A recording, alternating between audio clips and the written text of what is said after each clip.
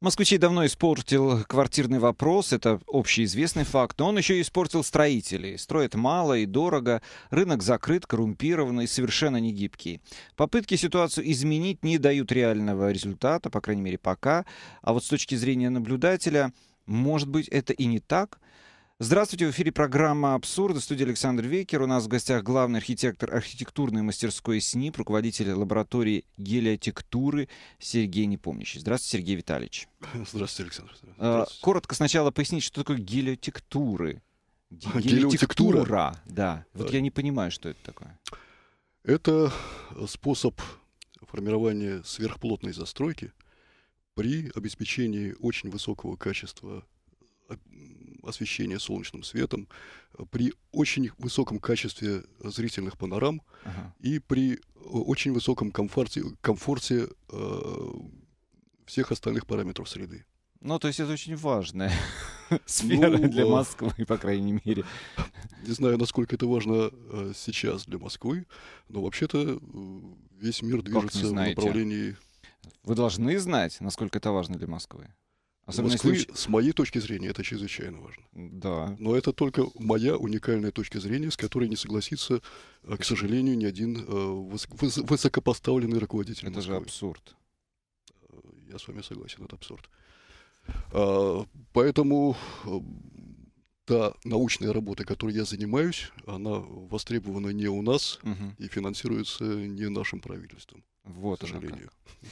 Понятно. Ну, э, поняли, что гелиотектура. Я думаю, мы будем... В этому... двух словах. Я хотел бы говорить об абсурдности постановки задач э, в Москве, э, об абсурдности представления о том, что Москва должна всеми силами сдерживать плотность застройки, о том, mm-hmm. что застройка Московской области должна быть э, максимально низкоплотной. Вы имеете в виду с минимальной плотностью. той части, которая сейчас присоединена к Москве, да? Вы об этом говорите? Об этой части территории? Я говорю в целом о развитии мегаполиса и э, делить на части присоединенные и неприсоединенные, в общем, совершенно никакого смысла нет. Это единый организм. Москва, угу. Москва, большая Москва, это одно целое вместе со всеми своими составляющими. Ну тогда, с вашего разрешения, я предлагаю нашим слушателям также присоединиться э, к нашей программе, к эфиру. Вы можете позвонить нам по телефону 65 10 99 6, код города 495, либо писать э, непосредственно на сайт finam.fm, на страничку программы «Абсурды». Задавайте свои вопросы, которые вас интересуют. Ну, например, оправдана ли цена квадратного метра московского жилья? Из чего она складывается? Что вы думаете о строительном рынке жилья в Москве. Звоните. А, вот с приходом команды Сергея Семеновича а, изменилась ли вообще расстановка сил на строительном рынке, на ваш взгляд? Ну, разумеется. Э, изменились э, приоритеты, изменились, и, и изменились подходы к строительству. Э, здесь есть много положительного, но положительное это то, что... Давайте поконкретнее, что, что вы имеете в виду? Я имею в виду то, что э, все-таки больше внимания уделяется э, сохранению э, исторической среды в Москве, это факт. Э, больше внимания уделяется сохранению э, зеленых насаждений, угу. это тоже факт. Э, но э, та динамика э, строительства, которая была при Юрии Михайловиче, она, конечно же, тот темп, он потерян. Вот давайте э, поймем, что из себя представляет рынок строительства жилья в Москве. Об этом наша справка. По данным системы PrimeBeer, в Москве на начало 2012 года зарегистрировано около 38 тысяч строительных организаций. За последние 10 лет доля Москвы по количеству строительных организаций возросла незначительно – 16% до 18%. При этом по объему работ сократилась с 15 до 11%. В прошлом году в Москве введено в действие почти 6 миллионов квадратных метров новых жилых и нежилых помещений. Число крупнейших строительных компаний города Москвы, у которых основные виды деятельности – производство общестроительных работ, строительство зданий и сооружений, а также монтаж зданий и сооружений и собственных конструкций, входят такие компании, как ДСК-1, ДСК-2, Велесстрой и Главмосстрой. Учредителями строительных компаний выступают как российские и зарубежные компании, так и граждане России. По данным из других источников. Ну что ж, насколько я понимаю, Москва не собирается значительно больше строить в ближайшем будущем. Это положительный факт? Это факт отрицательный. А, Дело в том, что обеспеченность москвичей жильем, она крайне низка. И если сравнивать с другими столицами, то мы находимся на каком-то очень-очень далеком месте. Я не хочу сейчас приводить этих данных. Они, в общем, достаточно хорошо известны. Если кто-то захочет поинтересоваться, такие данные найдутся. Насколько я помню, я видел статистику, по-моему, мы сместились на третью или на четвертую позицию. Даже Краснодарский край нас обогнал. А, ну, это если говорить о России. Да. Ну, да. это понятно. Понятно, что в Москве э, все-таки есть условия заработка, и поэтому э, все сюда стремятся, и поэтому э, компенсируется это тем, что э, условия жизни не очень хороши. Я говорю о мировых столицах. Я говорю а, о, вы, вы в о, целом смотрите? В целом, конечно, конечно. Но ведь, в общем, мы же граждане мира, и никаких ограничений на передвижение нет. И поэтому кто платит, тот и заказывает, ну, да. за, за, заказывает специалиста. А, и вы, вы, выбор обуславливается не только наличием жилья, но еще и климатическими условиями, еще и отношениями. Экологическими. Конечно, конечно. Поэтому классные специалисты, которые приезжают в Москву, а, понимают, что это только временный перевалочный пункт для того, чтобы дальше ехать там, в Германию, США, куда-то еще. Ну, можно это рассматривать и так. А... Давайте мы сейчас э, послушаем нашего слушателя. Сергей к нам дозвонился. Здравствуйте, Сергей. А, здравствуйте. Да, мы вас готовы выслушать. Что у вас? Ну, у меня, во-первых, э, мне все-таки, у меня другое несколько мнение. Какое? Мне кажется, что наоборот плотная застройка нам не нужна. Вот, вот, вот. Я и, как раз об этом и хотел и поговорить. И не, и не нужна, э, и не нужна как бы высотная застройка, угу. учитывая, что все равно в будущем, в далекой перспективе, нас ждет расселение городов. Угу. Но это отдельная тема. Угу. А, теперь, что касается Москвы в целом. Вот я как москвич, да, я вот родился, вырос в Москве. Так. Я могу сказать, что город очень стал неудобный для жизни очень неудобно. Я вот живу сейчас в Подмосковье, я не хочу возвращаться в Москву. И что касается, вот как тут говорят, заработков, все прут в Москву и так далее, да, такое было. Но сейчас, сейчас это уже не так. Э, более того, происходит перенасыщение. То есть, когда э, перенасыщено все, от этого страдают э, сами же, так сказать, участники и сами же жители. Но нет рецепта, сейчас, нет да, рецепта, чтобы этого не было. Вы же а, есть, понимаете. есть рецепт, Какой? есть рецепт. Э, продолжать э, стимулировать регионы. Сейчас уже тенденция идет. Сейчас человек, если уже более-менее э, что-то может, он уже не едет в Москву, как раньше, вот по, каждый, по каждому поводу. Процесс это должен происходить. Должны быть просто сильные экономические центры по стране. Вот эта вот э, перецентрализация, от этого больше вреда. Угу. Не, не нужно это. Не, пусть э, в регионы, в регионах едут, также из Москвы пусть едут в регионы на заработки. Такая, угу. такая кстати, штука тоже уже наблюдается. Но Сергей, вот, у вас есть да, вопрос э, к нашему гостю? Ну вот собственно... Вы высказали свою такой... позицию. Я да, понял. это, это моя позиция, да. Вот. Спасибо вам большое за то, что вы дозвонились к нам. 65 10 99 6, код города 495. Мы продолжим сразу после новостей. 65 10 99 6, код города 495. Э, или пишите нам на сайт finam.fm на, странич, на страничку программы «Абсурды». Говорим мы сегодня о строительном рынке жилья в Москве. У нас сегодня в студии главный архитектор архитектурной мастерской СНИП, руководитель лаборатории гелиотектуры Сергей Непомнящий. И к нам присоединился еще э, член президиума экспертного совета при главном архитекторе Москвы Алексей Клименко. Здравствуйте, Алексей Алексеевич. Здравствуйте. Мы рады видеть вас также, наши нашей студии. Первый вопрос, который у нас э, был э, в самом начале программы, мы обсуждали, а, что изменилось с приходом э, команды Сергея Семеновича, который сегодня отправил в отставку правительства. Ну, строительной, именно вот в строительной сфере, да, в строительстве ну, жилья. Изменились лица, изменилось отношение к экспертам, э, ну, которые, ну вот наш совет, который мы создали четверть века назад, и который худо-бедно, но все-таки э, пытался что-то, э, чему-то воспрепятствовать. Ну вот, например, спасена Пушкинская площадь угу. от э, э, всех э, коварных замыслов. Э, Глубинной застройки, я бы сказал. Ну, это было там очень много чего. И тем не менее, вот наш э, экспертный совет, хоть он и общественный, но тем не менее вот сумел переломить ситуацию, и Пушкинская сейчас благополучно, и это очень, ну, хоть, угу. хоть немного, конечно, но, к сожалению, многие вещи остановить не удалось, и, в частности, не удалось остановить э, то, что происходит на Воздвиженке, э, потому что прямо напротив дома приемов, который сейчас стал закрыт для населения совсем, хотя это противозаконно, хотя это абсолютно противоречит э, законодательству, вот, так вот, напротив выросло нечто такое, чему название просто не может быть. Угу. И поскольку мне не удалось это остановить, я просто потребовал просто самым злобным образом, чтобы было написано мое особое мнение, что такого рядом с Кремлем быть не может. А когда мне потом сказали, э, ты что, дурака валяешь, это же Путина, я сделал большие глаза и сказал, кто такая Путина? Почему Путина определяет то, чему быть или чему э, не быть рядом с Кремлем? Путина, они мы специалисты. Что, она лучше подготовлена, что ли?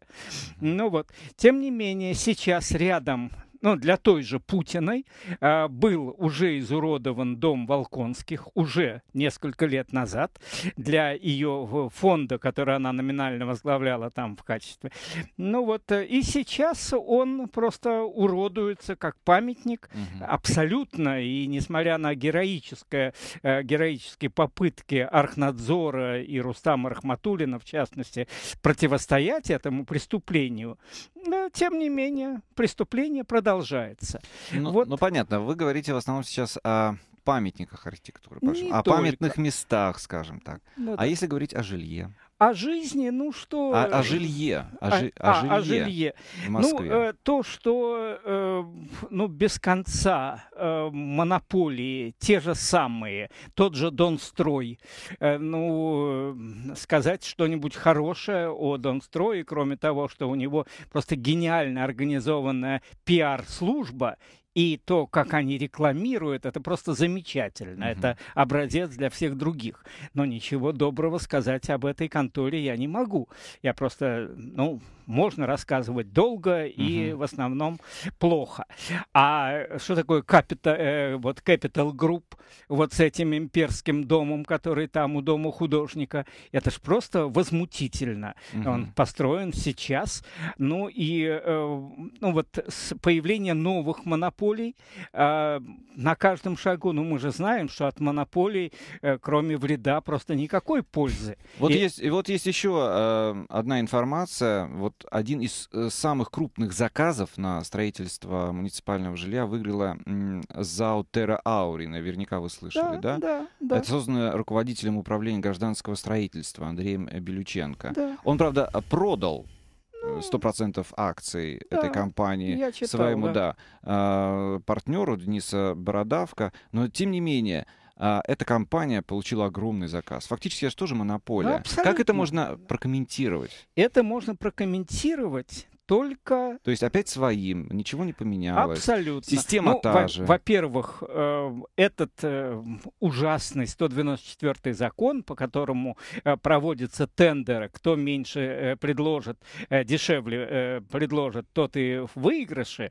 ну, это просто запредельно, это просто преступление. Тех, кто придумал этот закон и принял этот закон, угу. ну, лично я послал бы на Колыму, потому что это, ну, надо совсем иметь размягченные мозги, мозги или вместо мозгов что-нибудь другое. Потому что от этого закона, кроме вреда абсолютного, ну, ни малейшей пользы нет. Тем не менее, этот закон существует, функционирует, и монополии цветут и пахнут на каждом шагу. Ну и поэтому э, вот то, о чем вы рассказываете, это конкретный пример, это золотая земля, да? Да, золотая вот, земля. Ну это же, ну если бы, если бы у, у нас была действенная э, антимонопольная служба, если бы у этой антимонопольной службы была возможность Э, ну, с э, увеличительным фонарем и увеличительным стеклом просмотреть финансовые дела этих монополистов, вот это было бы очень важно. Угу. Но ведь ничего такого не происходит. Давайте узнаем, что же это за компания такая Terra Auri, наша справка.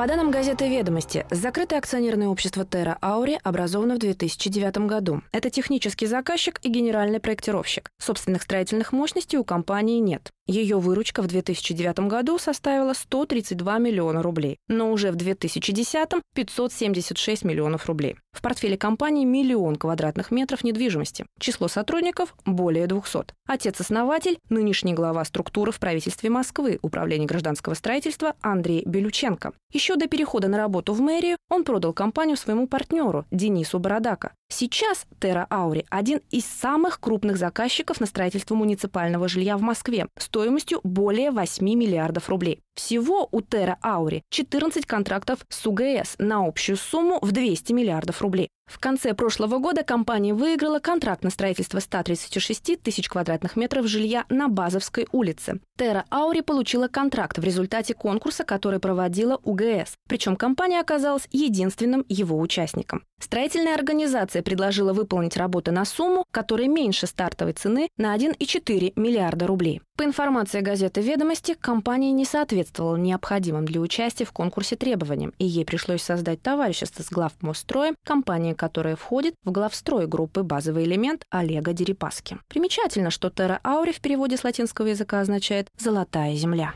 По данным из других источников.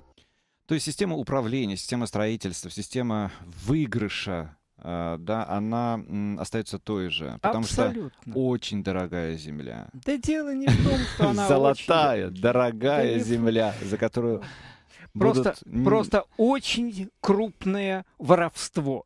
Э, коррупция – основа, фундамент, базис действующей государственной системы, угу. системы принятия решений. И поэтому э, никакой Навальный не способен, э, даже если бы его назначили случайно, там Путин назначил бы его разгребать эти авгиевы конюшни, никто бы не смог этого сделать, потому что это фундамент, это то тот самый краеугольный камень. Воруем все. Принцип главный нашей государственной машины.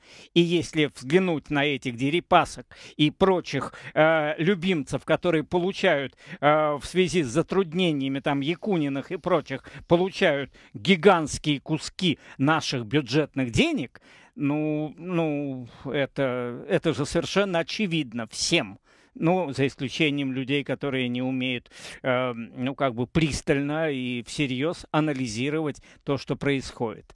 Это самое главное. Кто такой Сечин и его империя? Ну, и все там остальные uh-huh, uh-huh. приближенные э, э, к Путину господа из кооператива «Озеро». Все долларовые миллиардеры. Почему? Потому что свои ребята, потому что, э, ну вот, э, ну вот э, это основа. Интересное участие глав Мосстроя в, э, в этой сделке, скажем так, да, с Терра Аури, потому что у глав Мосстроя дела-то шли не очень хорошо. Да, да, но эта структура, ну, что говорить, вот вы меня спросили, что изменилось с приходом Собянина. Вот, например, комиссия по сохранению и сносу в белых палатах, которые мне когда-то 40 лет назад удалось сохранить. Вот э, Хуснулин, все очень. Кто там сидит?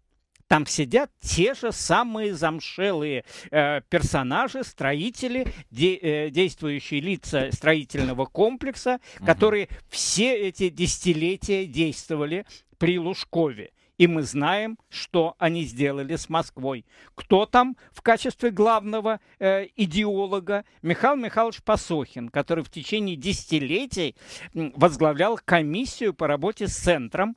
И вот все то, что в центре произошло, и все то, что так радует наш, э, всех, кто хоть сколько-нибудь умеет видеть, это на, э, на совести этого Михаила Михайловича Пасохина. Ну и что? Э, то есть кого не возьми в этой действующей системе, тот обязательно коррупционер. Угу. Ну, Изменить вот... ее э, сложно и практически невозможно. Так нет, ну, э, все дело в системе. Понятно. 65 10 99 6, код города 495. Звоните нам, задавайте свои вопросы нашим сегодняшним гостям. Мы говорим о строительном рынке в городе Москве. Э, мы пытаемся проанализировать и последние а, аукционы или, скажем так, технические задания, которые получила также а, Заутера Аури, например. Встретимся буквально через несколько минут. 65 10 99 6, код города 495. Звоните, задавайте вопросы. У нас сегодня в гостях член президиума экспертного совета при главном архитекторе Москвы Алексей Клименко и главный архитектор архитектурной мастерской СНИП, руководитель лаборатории гелиотектуры Сергей Непомнящий. Но ну, я выучу это слово. Гелиотектура. Я надеюсь. Я приложу к этому все усилия. У нас есть звонок от Андрея. Давайте послушаем. Андрей, здравствуйте. Добрый день. Да, что вы Алексей, хотели нам сказать? Алексей Алексеевич, скажите, пожалуйста, как вы оцениваете деятельность Кибовского и возглавляемого моим подразделением мэрии, признанного, призванного охранять архитектуру Москвы? Спасибо. Понятно. Спасибо. Если я вас правильно, я плохо слышал, э, если я вас правильно понял, вы просите оценить деятельность господина Кибовского и его, э, ну вот, охраны памятников, комитета по охране памятников. Господин Кибовский чиновник, специалист в области военного снаряжения, военной одежды. Он незаменим для эм, э, съемки исторических фильмов, постановки историзированных всякого рода спектаклей. Но в том, чем, к чему его представили, он э, не очень э, разбирается.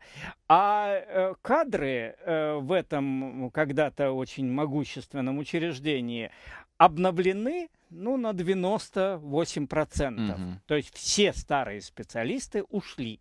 Предшественник господина Кибовского, господин Шевчук, радостно набирал себе он э, докладывал э, ну, очень горделиво о том, что ему удалось у Лужкова выбить 83 ставки, и он, э, и он эм, обеспечивал эти ставки офицерами ОМОНа и э, очень гордился тем, что вот это учреждение, охрана mm-hmm. памятника превратилось в такую казарму, такую вонючую, как она, и э, как у нас и бывает казармы.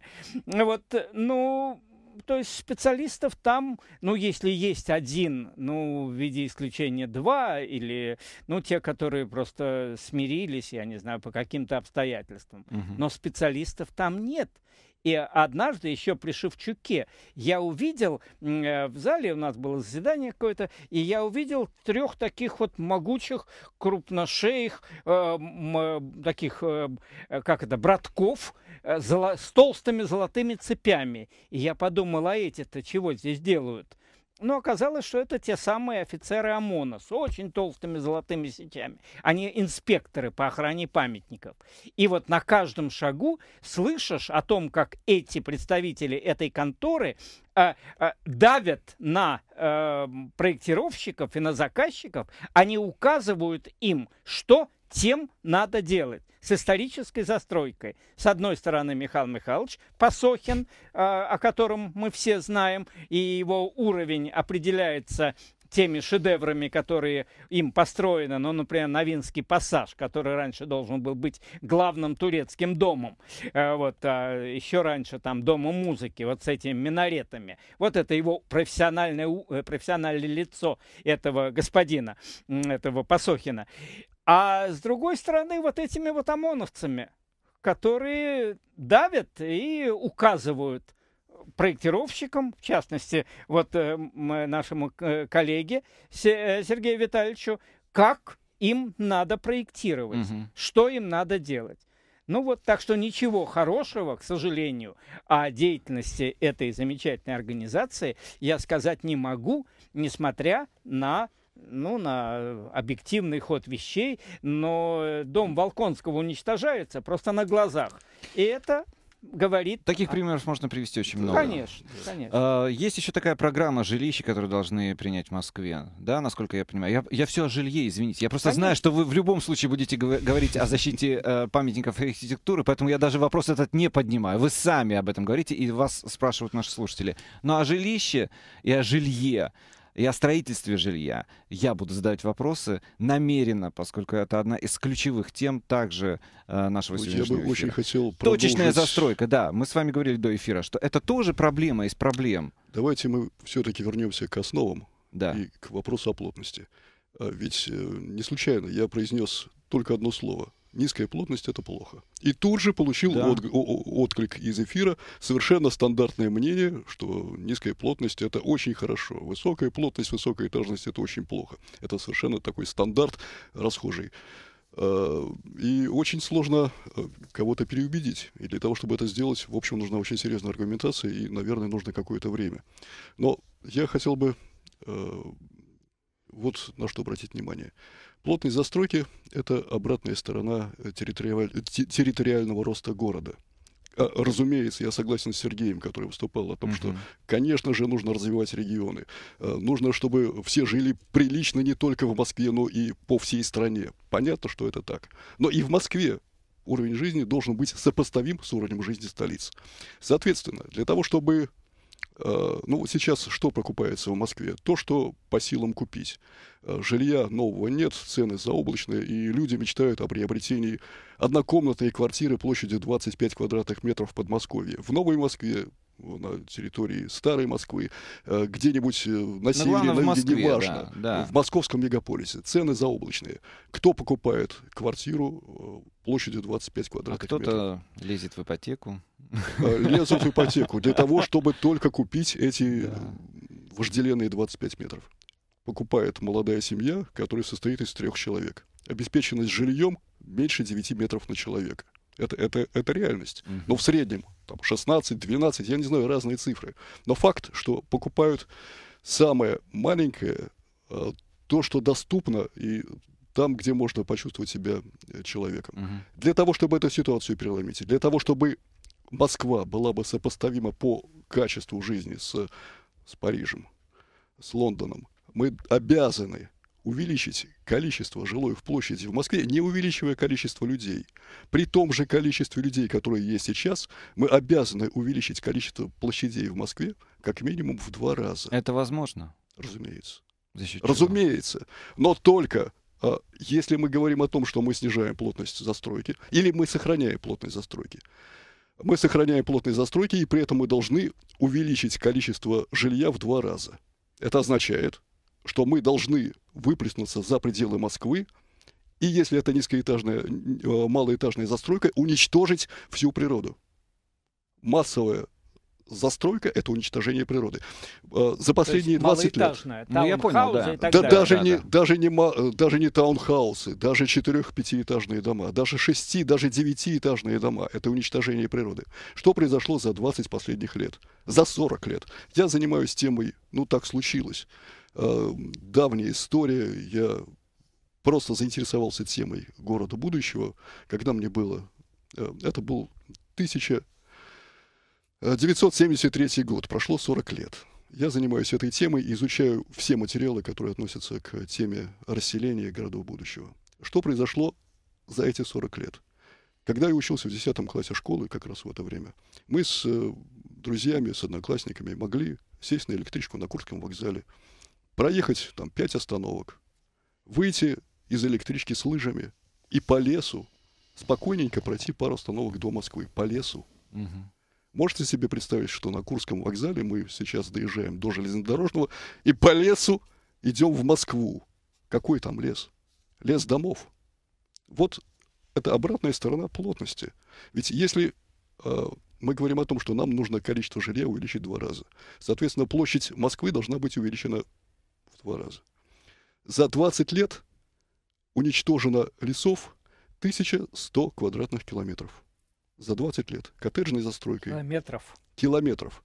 То есть, то есть площадь уничтоженных лесов за 20 лет сопоставима с площадью Москвы без расширения. Но, ну, это, но... Ну. это, это данные Гринписа, и, в общем, э, сомневаться в этом не стоит. А, что... Сергей Витальевич, но вот э, при э, всем негативе, который существует, это объективная реальность. Город все равно должен развиваться. Да, я, разумеется. Да? То есть, ну, должен, э, э это абсурдная я С вами, я с вами совершенно согласен. Да, вот тут нужно выход. Ведь Дайте вы, выход очень... А, можно, э, а, нет, нет, Алексей Алексеевич, я, я все-таки, давайте, это, да. это, это мой да, конек, да, это да, мой да. конек, я э, все-таки да, Сергей дам рецепт другой. Э, Москва сравнивается со столицами мира, и говорится о том, что вот плотность застройки в Москве там чуть ниже, чуть выше, угу. там на 5%, на 10%. Это не так. Если говорить о тех странах, которые столкнулись с проблемой обеспечения жильем, то э, нужно говорить о том, что э, я приведу примеры Гонконга, я приведу примеры Сингапура или даже, или даже канадские, Торонто. Вот Или Шанхай. Шанхай, разумеется. Но если говорить о Юго-Востоке, э, ну, предположим, это далеко от нас, это другой климат. Э, климат и плотность – это еще одна тема. Чем севернее, чем более суровые условия э, жизни в городе, тем больше должна быть плотность. То есть, теоретически, плотность застройки в Москве должна быть существенно выше, чем плотность застройки в Гонконге. Угу. С учетом климата. То есть мы э, движемся именно в этом направлении сейчас, насколько Мир движется в этом направлении. А, Мир где где востребовано, где востребовано жилье? Где а, покупаются квартиры? За что люди готовы платить деньги? А мы на периферии глубочайше. Номер раз Нью-Йорк, номер два Гонконг, Шанхай, Сингапур. Это самые высокоплотные города, и там наиболее востребовано жилье. Люди стремятся жить там потому что это концентрация всех интеллектуальных ресурсов. Естественно, да. И там максимум комфорта. А, Именно и... высокая концентрация приводит к максимуму Сингапур, комфорта проживания. Сингапур — это эталон городской среды сейчас. А, поэтому говорить о том, что высокая плотность — это равно плохо, совершенно не так. Вот то, что низкая плотность — это уничтожение природной среды вокруг города, это факт. А, э, еще раз, просто арифметика. Москва должна увеличить, нарасти, нарасти, нарастить свои площади жилья как минимум в два раза. Как это сделать? Если мы сохраняем плотность, мы уничтожаем еще дальше все леса. Ну, говорят, убирают э, промышленные зоны, знаете, нет, нет, нет, нет. и Давайте, так далее. Э, э, промзоны это особая э, Это особая тема. Я просто, ну, на одну секунду. Алексей да? Алексеевич, Ведь да. самого, самого высокого уровня, самых высоких трибун бесконечно говорится, что вот спасение жилищной проблемы, э, вот, э, самой острой, это отдельные домики, это угу. малоэтажная застройка, это вот эти самые таунхаузы, это вот все то, что, о чем мечтает каждый. Это абсолютное вранье и свидетельство неграмотности тех, кто на самых высоких трибунах, потому что это противоречит, ну, главным мировым трендам. И именно Сергей этим занимается. Угу. Он своей проектной работы, он достигает плотности в пятикратном, не плотности, а выхода полезных площадей в очень комфортном жилье пятикратной ну, по это сравнению... по отношению к чему? А? Э, я достигаю плотности в два раза больше, чем самая высокоплотная застройка Гонконга в да. два раза больше, чем самая высокая плотная застройка Гонконга. Да. А, и, ну... и теперь промзоны и промзоны после их санации настоящей могут э, оказаться территориями для размещения вот таких вот э, угу. комплексов, которые Сергей Витальевич проектирует, и это да, да, даст замечательные решения э, жилищного проблемы э, с очень высоким комфортом проживания. 65 10 99 6, код города 495. Звоните нам. Мы продолжаем говорить о строительном рынке Москвы. У нас сегодня в студии член Президиума экспертного совета при главном архитекторе Москвы Алексей Клименко и главный архитектор архитектурной мастерской СНИП, руководитель лаборатории гелиотектуры Сергей Непомнящий. Сергей, э, ну, договорите, вы не закончили мысль? Да, тут э, сложно сейчас э, вспомнить последнее слово, но общий принцип вот какой. Когда мы говорим о том, что плотность застройки должна быть высокая, это вовсе не значит, что людям должно быть тесно. Как раз наоборот. Чем больше количество уровней Земли мы промультиплицируем, тем свободнее будет, свободнее будет человеку. Uh-huh. Я вот э, работаю э, в городе Шаньтоу, Китай. Это провинция Гуандун, одна из самых плотных э, провинций Китая. И когда я туда летел, готовясь к этой поездке, я посмотрел, э, как это выглядит э, в Гугле, я пришел в ужас. Чрезвычайно плотно поставленные дома, и впечатление такое, что жить там невозможно. На самом деле, когда я оказался на месте в этой среде, когда я вошел в этот двор, оказалось, что это рай земной, что это зелень, что это деревья, причем деревья не маленькие, щупленькие веточки, а это э, деревья диаметром метра два, ствол вот такого дерева гигантский, э, фонтаны, водопады, э, ну, карпы в этих водопадах. Э, да, конечно, дома стоят достаточно плотно, но они возвышаются за пологом зелени. Людей практически нет. Ларчик открывается очень просто. Там местами можно подойти к шахте, заглянув туда, увидеть, что под уровнем земли два уровня внизу паркинги, под uh-huh. ними проезды. Uh-huh. То, то есть мы находимся на самом деле не, не, не на земле, вот с этими э, вековыми деревьями, а мы находимся на уровне, на, на кровле э, второго этажа, на уровне третьего этажа. Знаете, а... это некий культурный шок сейчас происходит, на самом деле, потому что у нас совершенно другое представление о плотности. Конечно. Вообще, то есть диаметрально противоположное. Я говорю о том, что плотность застройки там не на 20% ниже, а она выше там в 5 раз. То, что Причем это в современных районах. Разумеется, там есть э, места, где жить практически невозможно. Но самая элементарная вещь, все то, что не нуждается в солнце, все то, что не нуждается в естественном свете, угу. оно спрятано под землю. Давайте мы послушаем наших слушателей, потому что они активизировались. Ну, потому что э, тема, которую вы затронули, она очень абсурдна для нас, по крайней мере. Даниил нам дозвонился. Давайте послушаем. Даниил, здравствуйте. Да, добрый день. Я хотел спросить вообще, как возможно сделать, увеличить так сильно плотность-то у нас в нашем городе, в Москве. Я вообще не представляю. Вот сейчас и Сергей Витальевич пытается это объяснить. Я тоже да, в некотором шоке. Как, раз, как, как это можно же... сделать? Как раз об этом и идет речь. Да. А, самая и... главная дорога, ой, самая главная проблема вот дороги. А, вот, вот, вот. Я в а. шоке с наших дорог. Я, у меня есть некоторые идеи, что вообще должен делать э, город. Мне кажется, у нас как минимум не хватает соединений микрорайонов. Вы То есть совершенно у нас пробеги огромные. Вы совершенно правы. Связность. А, именно у об этом не, идет нам речь. не хватает связности а, э, улично-дорожной Именно сети. об этом идет речь. Но, а, а есть какие-нибудь проекты, может, да, вы да, знаете, да, да, что да. это когда-нибудь случится? Именно, и именно так, этим я и занимаюсь. Очень, очень важно, чтобы Спасибо, э, лица, принимающие решения, э, слушали, ну, прислушивались э, к экспертам, к людям, специалистам, которые э, понимают, всего. специалистам. А в том-то и То есть речь идет о том, что... они э, сами ну, да. э, что себя... когда мы строим город как здание с комфортными интерьерами, светлыми, солнечными, то все вопросы, связанные с дорогами, они просто исчезают. Дороги оказываются внутри этого корпуса. Все, все, все связи, транзитные магистрали проходят просто в нижних уровнях. Угу. Все э, пешеходные связи, они находятся в климатизированном пространстве верхнего уровня. Дальше начинается жилье. То, то есть это э, слоеный пирог, построенный по законам э, эффективного использования солнечного света, естественного света, организации видовых панорам. Угу. Мы говорим о том, что мы повышаем плотность не только жилья, мы повышаем плотность всей среды. При этом относительная плотность жилой застройки падает.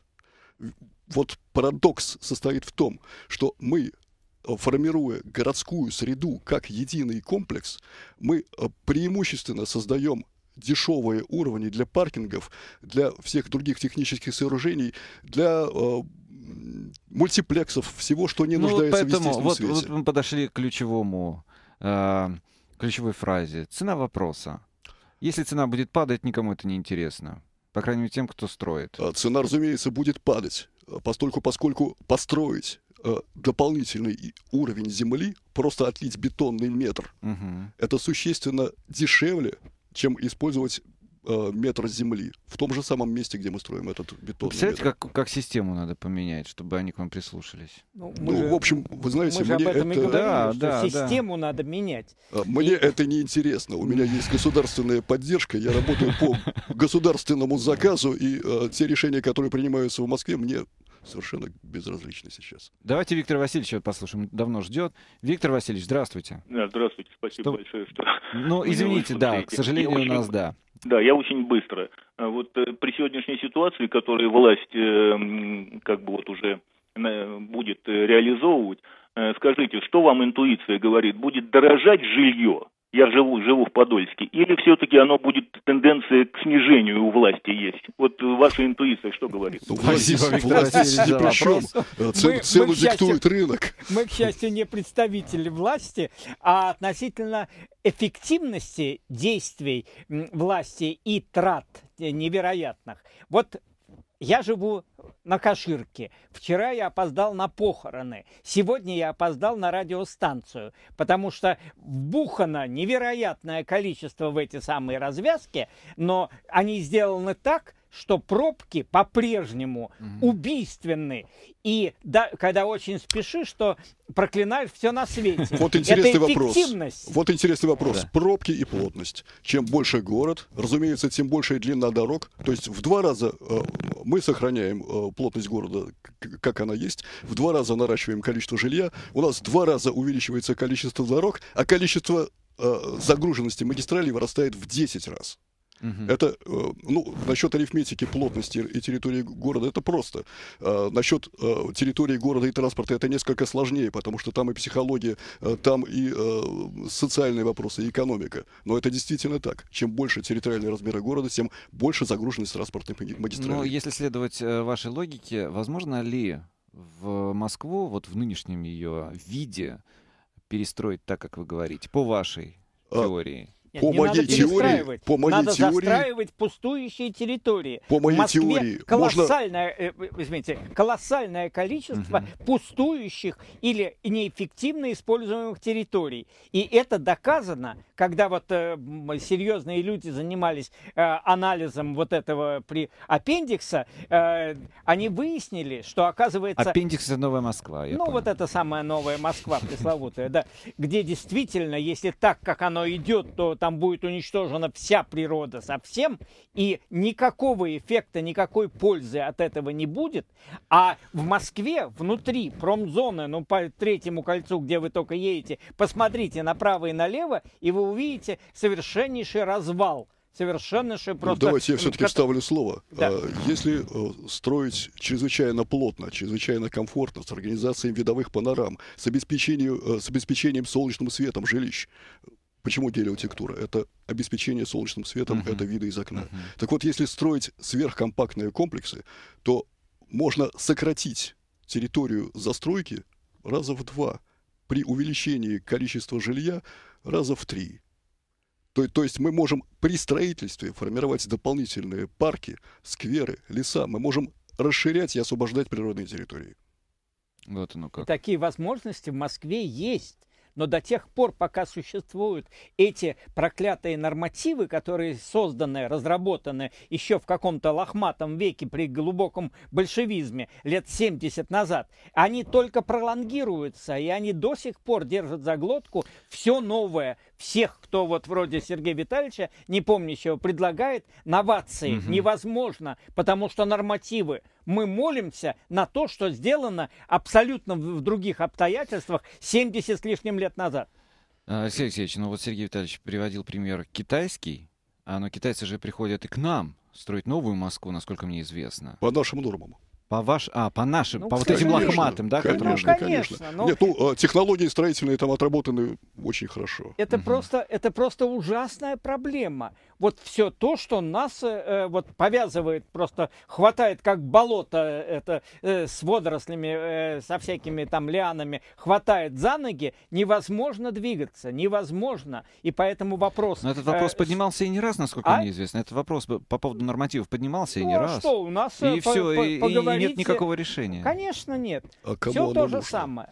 Если, если э, есть возможность строить в больших количествах, так как, та, та, так как принято строить, не напрягаясь, Зачем что-то Конечно, менять? тот самый главмострой. Ведь они что? Они, э, ребята, они пекут, пекут, пекут, пекут, пекут. Все домостроительные комбинаты существуют. Все, вся эта империя э, вот таких вот печенья э, одинаковых э, угу, блоков угу. и пирожков, которая создана Ресином и дала ему возможность вот эти вот миллионные, за миллион долларов часы на, на руке носить. Это все существует и действует. И это гигантское лобби. Архитектура процветает процветает только в том случае, если она укладывается в рамки нормативов, то есть, то есть если архитектура превращается в декорацию. Uh-huh. Если человек хороший художник, и он декорирует те решения, которые общеприняты, у него все в порядке.